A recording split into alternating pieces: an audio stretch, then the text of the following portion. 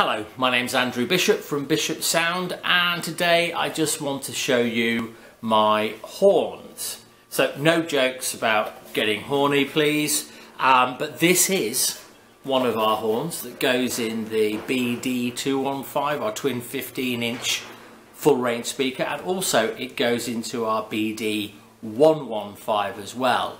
So great dispersion on this horn and threaded at the back to take one of our compression drivers and with a 15 inch driver we always use the BRC 175 here's one of them here and that simply screws into the back nice and tight um, and that's the way we disperse the high frequencies in our drivers and in our speakers.